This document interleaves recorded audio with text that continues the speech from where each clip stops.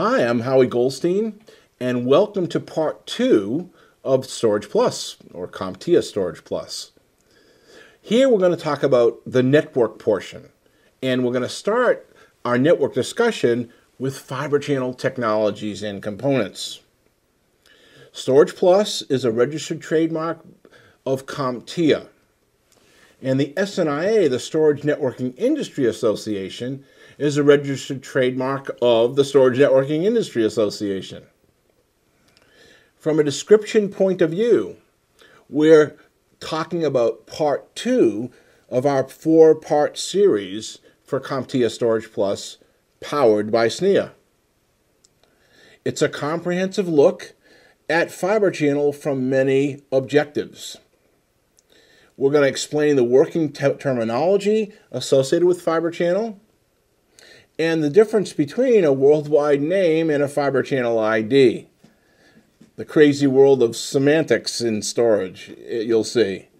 We'll discuss the nodes and ports associated with Fiber Channel and the advantages and disadvantages of the various topologies. We'll see how fiber channel routing works and how we work in conjunction with virtual machines with N_Port ID virtualization.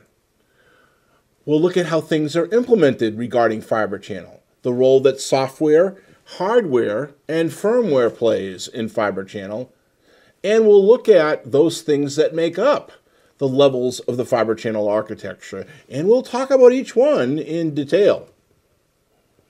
The lower level signaling, both electrical and optical, remember, fiber channel works on copper as well as fiber. Let's not confuse the media with the protocol.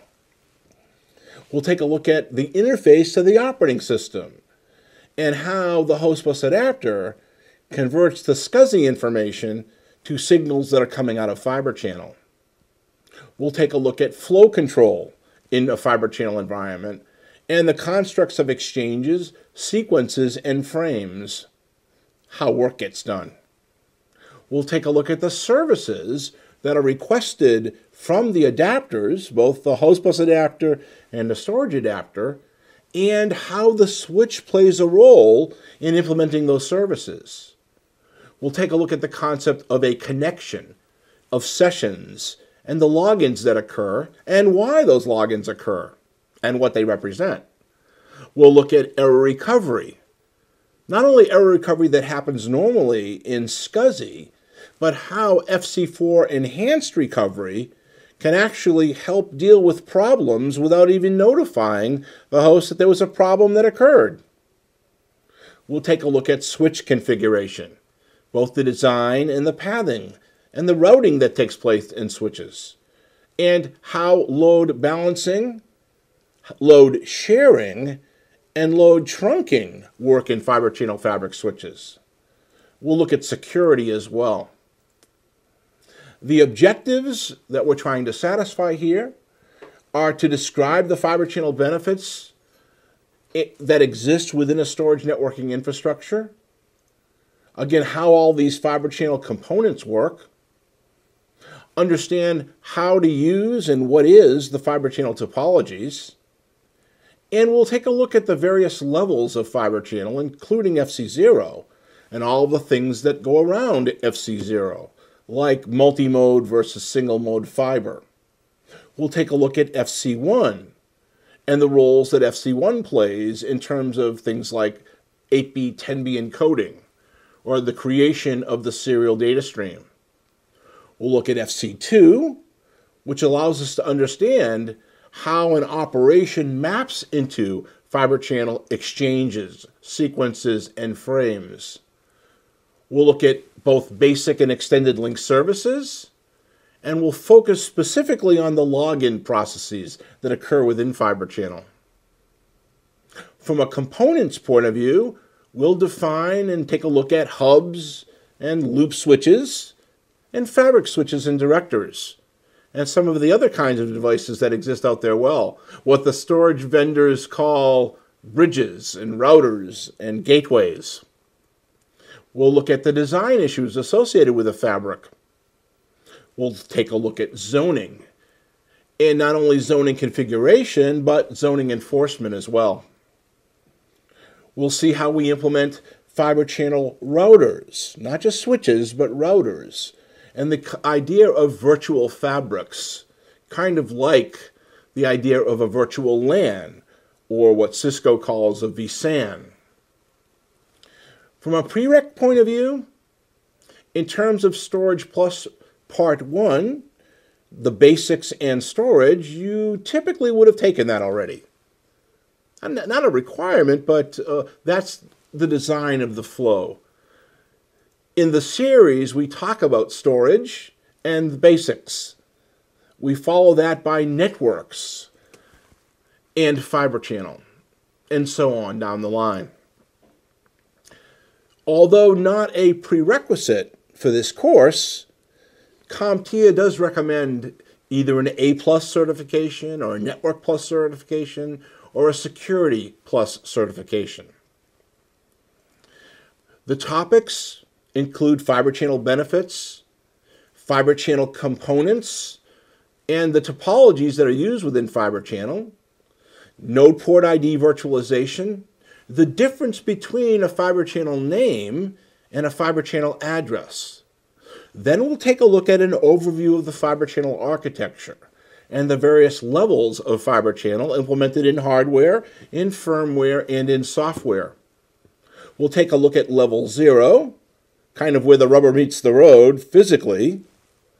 We'll look at level one, which deals with 8-bit 10 encoding and scrambling. We'll look at the idea of transmission words and the control that occurs in terms of port state machines and loop port state machines. It's in FC1 we talk about the different topologies. FC2 is the transport function and all the activities that take place in managing the transport of information on behalf of the session that exists between the adapters. The class of service in terms of what some people call quality of service and flow control and how we assure that there's nothing that gets lost in fiber channel. How we handle errors that occur within fiber channel when a bit might shift across the link. We'll take a look at how services are implemented in fiber channel, primarily with service that are actually running on the switch. FC3 functionality, especially security, and FC4 which is the ability in the firmware of the host bus adapter to recognize what's coming down to fiber channel. Is it a SCSI command? Is it SCSI data? Is it an IP datagram that needs routing with IP over fiber channel? We'll look at host bus adapters and what are called converged network adapters, hubs and loop switches, bridges, routers, and gateways, and of course, fabric switches. We'll look at the design of fabric switches and how the pathing works. Switches and zoning, both zoning config and zoning enforcement. From the curriculum path point of view, in terms of tying all this together, again, there are various CompTIA certifications and classes that support those certifications that are helpful, not actually required, but helpful. And there are four parts to the Storage Plus curriculum. Part one was basics in storage. Part two, which is what this course is about, is the fiber channel network technology and components. We'll follow that up in part three with IP storage, performance and troubleshooting in general, and part four is where we talk about applications things like backup and recovery, information lifecycle management, uh, storage management, and others as well. And we have exercises and quizzes and demos that we'll support in this course. Remember, at all times, if you've got a question or a comment, use the question comment box.